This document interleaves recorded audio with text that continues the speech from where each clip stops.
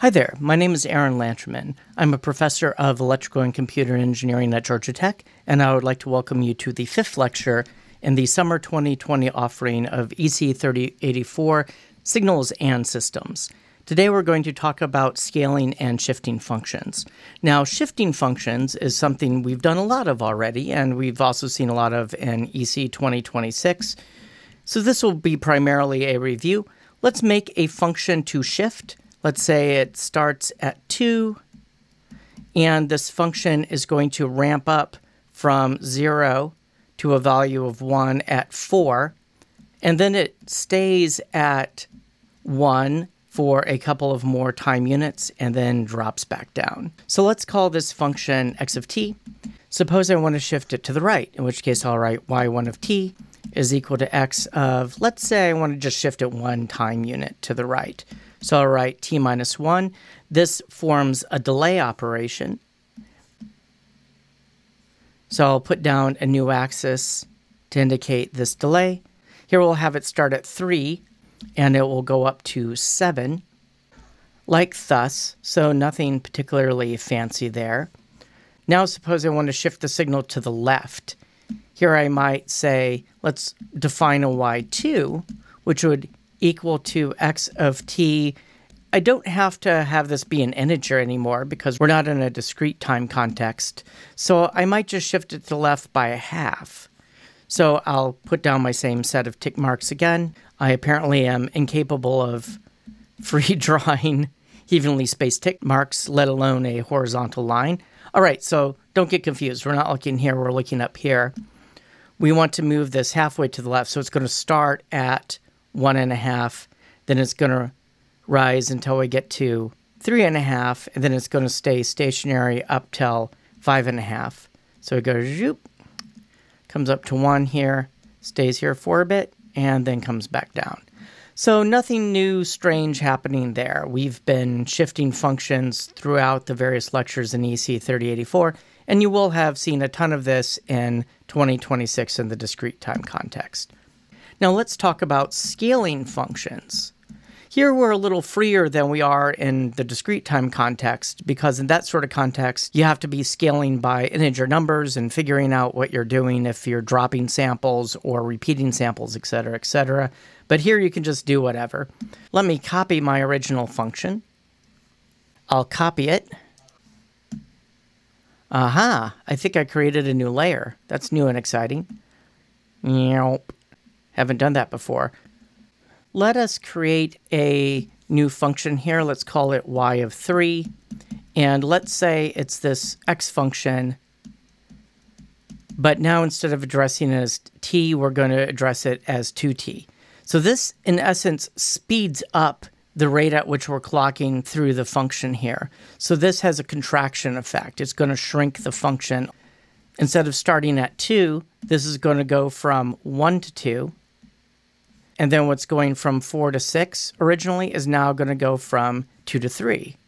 So this compressed quite a bit. I'm basically running through the function twice as fast. All right, let's instead divide by two.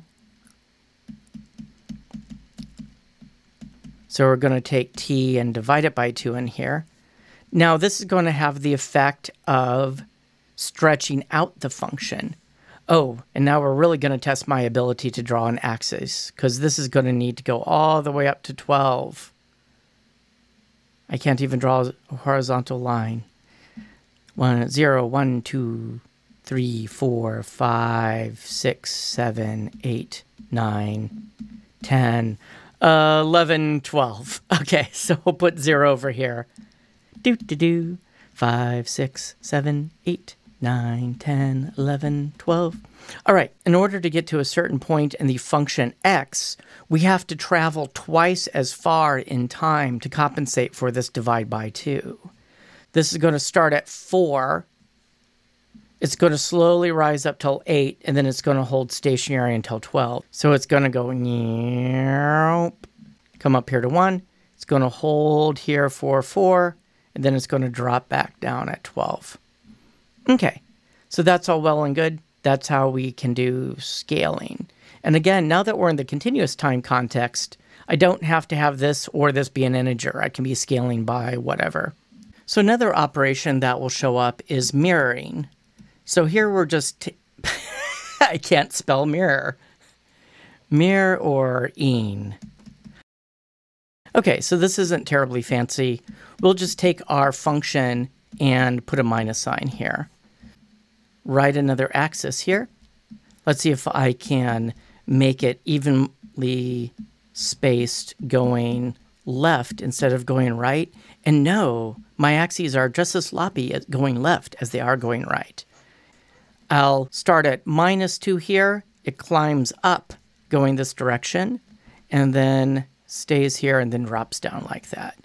Ooh, this is all spooky wavy. Okay, so that's not terribly exciting. And you can combine mirroring and scaling without a whole lot of difficulty. Combining mirroring with shifting can get confusing. I'll show you how to handle that cleanly in a second. So here we might say, what if we've got minus 2t?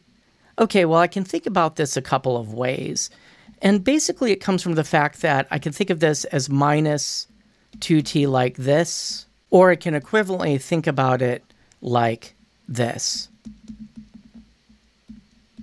So I can think about it as mirroring first and then scaling, or I can think of it as scaling first and then mirroring because this multiplication distributes through.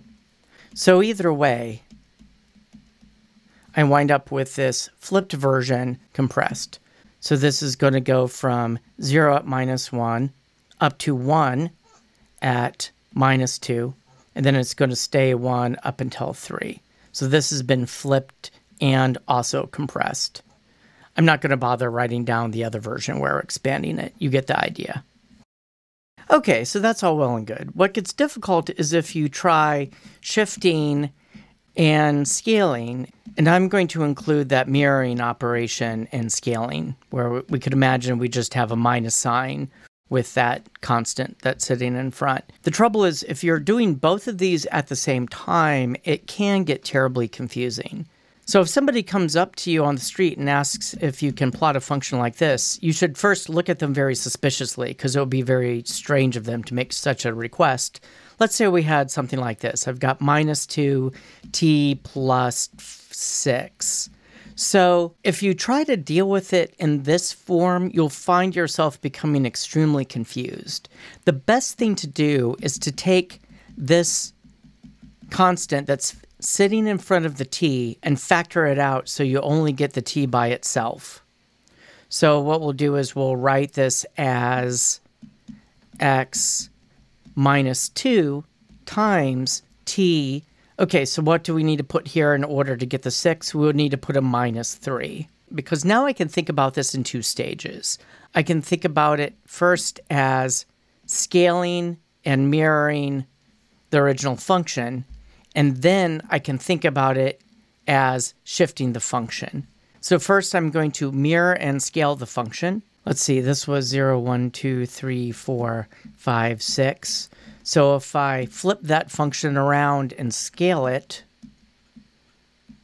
so it'll go from minus 1 to minus 2 to minus 3 like thus. It's going to go up like here, then it's going to stay here. That incorporates the mirroring and the scaling.